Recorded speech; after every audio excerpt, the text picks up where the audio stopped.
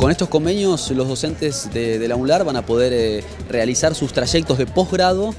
eh, es decir, van a, poder seguir formándose eh, aquí en, La Rioja sin tener que ir a ninguna otra provincia, ni tener que viajar a Buenos Aires, ni tener que, pagar una formación virtual carísima. La condición para la efectivización de los docentes interinos, la condición primaria, es la formación en docencia universitaria, especialmente en la parte pedagógica, metodológica y didáctica. Por lo tanto, estos dos convenios tienen que ver con los contenidos específicos a los que hice referencia, que deben ser aprobados por cada uno de los docentes interinos para ser efectivizados. En este momento nos pusimos de acuerdo entidades gremiales de primero o segundo orden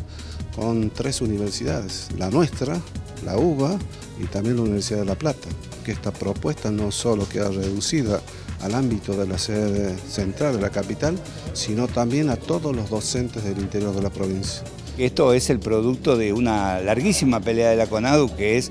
el hecho de tener un convenio colectivo de trabajo. Un convenio colectivo de trabajo que vale la pena resaltarlo, es el único de América Latina, porque es claro que un docente que está seguro en su trabajo, que conoce sus derechos, que también conoce sus obligaciones, pero que tiene seguridad, que está con un marco legal que lo protege, este, creo que eso termina redundando sin ninguna duda en la calidad educativa. El avance espectacular que ha tenido en la transformación de la universidad hace que ese hecho de la toma, que no fue hace tantos años que se produzca, parezca tan lejos en el tiempo, porque es tan grande la transformación, una universidad que se ha podido democratizar, una universidad que ha logrado elegir sus autoridades este, a partir del voto del conjunto, del voto directo de todos sus estamentos, una universidad que ha avanzado en su relación con la comunidad, con proyectos, una universidad que ha integrado este, no solamente la universidad, sino también el sindicato, que han integrado a las sedes que parecían antes que estaban tan lejos, a pesar de que estaban en la misma provincia.